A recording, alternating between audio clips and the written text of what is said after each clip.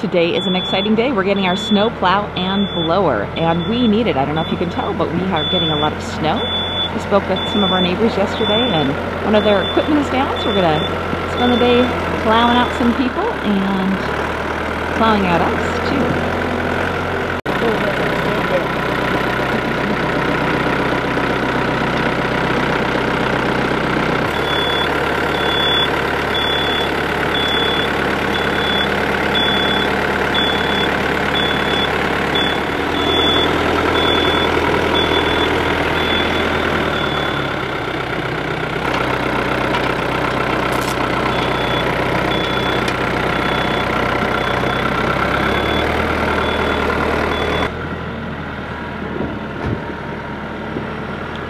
Around to the other side.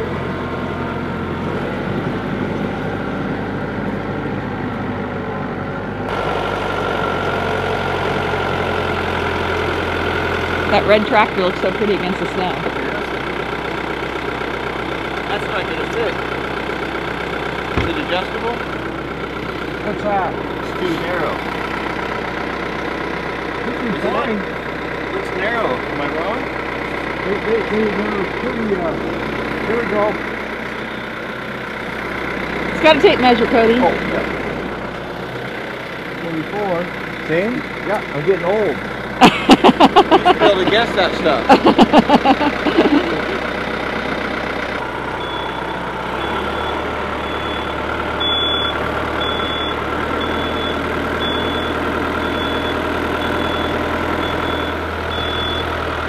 For those of you that hate the beeping, we love it because of animals and kids and people running around and people who aren't used to equipment. We've got a lot of those.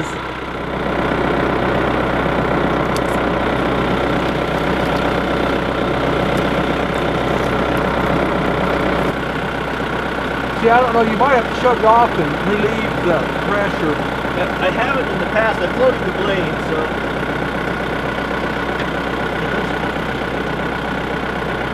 Wrong size.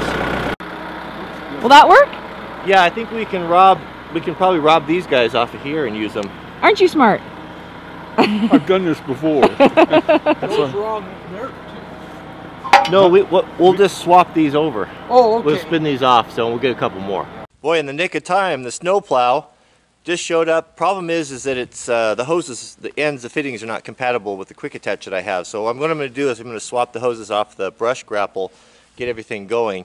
Uh, our neighbors, uh, we've got a new storm coming in. The snow's really starting to stack up, and our neighbors, their um, equipment is all down. The snow blower is broken, all that. So looking forward to getting the plow over there and get them plowed out, see how it works. It's nine foot, so should make short work. That's one pass on a driveway, so that's just just fabulous. So let's get those hoses swapped out. Pretty easy fix here. We'll just use these. They're both the same length, so we'll just use these hoses on the grapple. I'll just get the new end. Um, that's just the way this stuff goes. you I wish industry would spend more time standardizing things. You know, you engineers out there, this is all your fault. Well, it's not your fault. It's the what's the greedy? It's the greedy ones in the company that want to sell their own products. But uh, sure is makes it hard on the on the end user when things are not standardized. Don't want to get any. That's the wrong hose there. Which one? Here's the one I want. Don't want to get any contamination in the hydraulic system. So just got to spin these guys out. So when I'm doing work like this, I make sure that I grab two wrenches, one metric and one standard. That way, anything that I come across, I'll, I'll have a fit for it.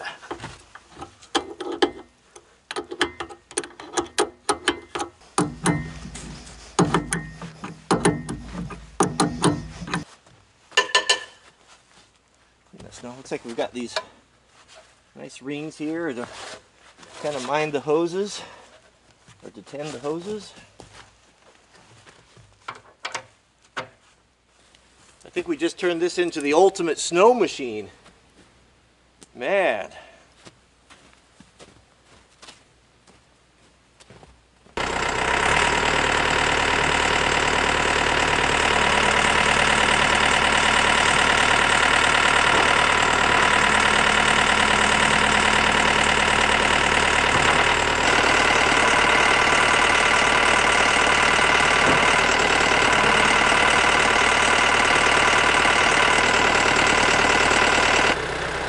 Plow's working perfectly.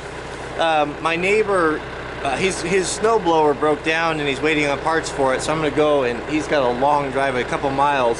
So I'm gonna go plow that out for him. Uh, we'll test it out, see how it works. The UPS guys can't get down there, so they're leaving the, his packages uh, with us here. So I'm gonna deliver those as well. So I'll take you down there and we'll uh, try it out, see how the new plow works.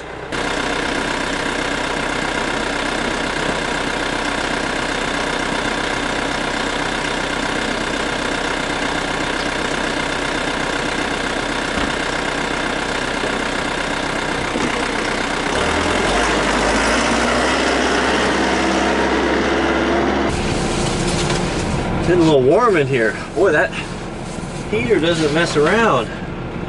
All right. Let's go try it out.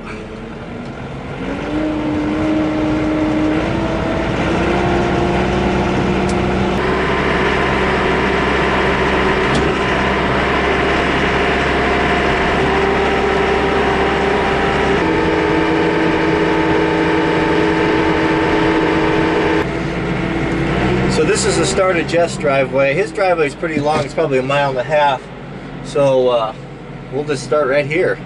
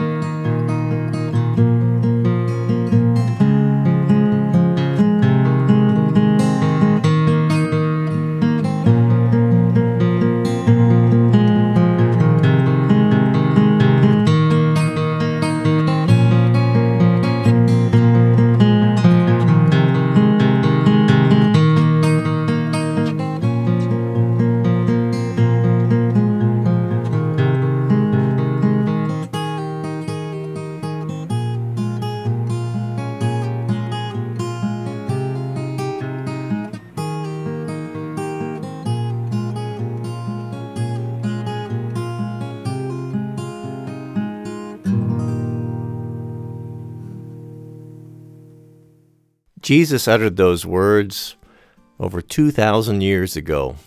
It's been known by for generations as the Golden Rule do unto others as you would have them do unto you. You know, I have really um, um, developed a friendship with my, my neighbor Jeff. He's an extraordinary guy. I really is. I really, um, um, really care about him, and I'm so grateful to have such a, a good man and his wife Alicia. Uh, they're just wonderful, wonderful people. And and I'm not showing this to to brag. Oh, look what I did. You know, I went and I helped my neighbor out.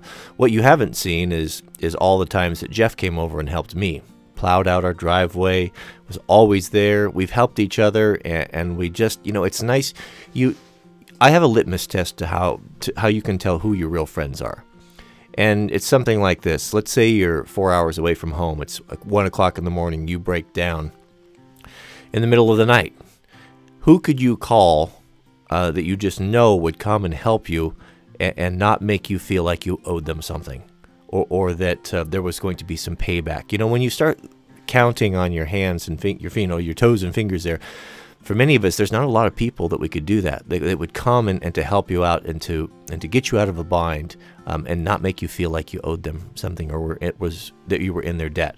And Jeff is one of those people, and that to me is a is a sign of, of true friendship. So uh, we really enjoy helping each other out, and we're going to do more things together. That big barn you see there in the back, uh, you won't believe it. If you've seen the movie The Martian, see Jeff's really smart. He's a um, uh, rocket scientist, astronaut smart. You know, he was in the astronaut program. He's a aerospace engineer, super motivated, super smart guy, uh, and he's basically recreated what was in the biodome in the movie The Martian. Um, on his own property, and uh, while I was there, I got um, give me a full tour. It just will blow your mind, blow your mind what's in there. And, and I'll, if there's interest, I'll uh, upload that and share that with you as well. So um, I just wanted to share that with you. i am going to do a more detailed video with the plow, and we'll show some more of that. This I just wanted to kind of get something up and to share, um, you know, just you know, fun to share your excitement. But you know, back to the golden rule. Um, man, what a bit piece of advice. If our children left with that uh, left our homes and they had nothing else. I mean, can you imagine how well that would serve us? Can you imagine how well our world, how much different it would be if everyone, regardless of religion, uh, would uh, simply adhere to that?